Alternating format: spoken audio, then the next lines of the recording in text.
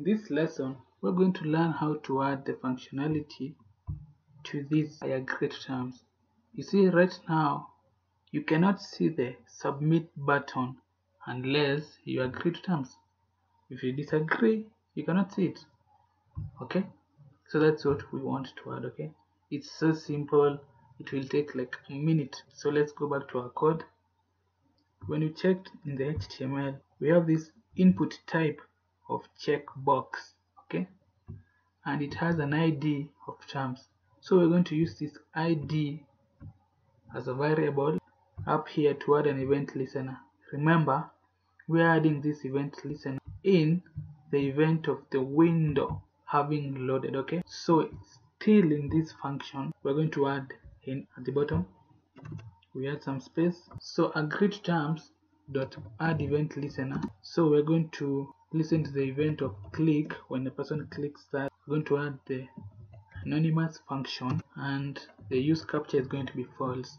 Just like we've done with the all other events. So in this case we're going to check whether this agree to term is actually checked. So we're going to add an if condition like this. If agree to terms dot checked. If it is checked that means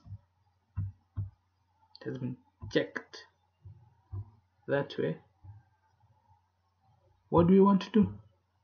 If it is checked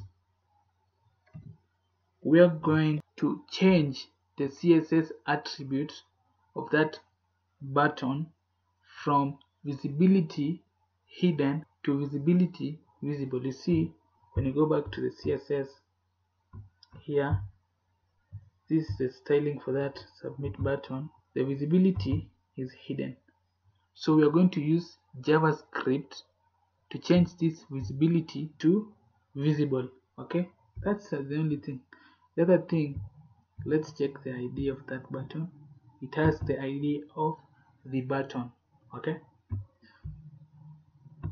So if it is checked we want the button dot style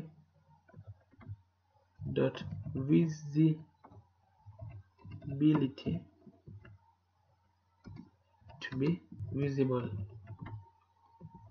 Just that. So if it is not checked we are going to go to the else part and we're going to, to return it to hidden. If it is not checked it's going to be hidden. So let's go back to the browser and test. So we're back to the browser. So you see you cannot see the submit button. Now what you're going to do when you click it the submit button is there. That's how we handle that. When you don't agree you cannot submit this form. But when you agree you'll be able to submit. So that's the end of the lesson. You see it was so easy. It's just an if else.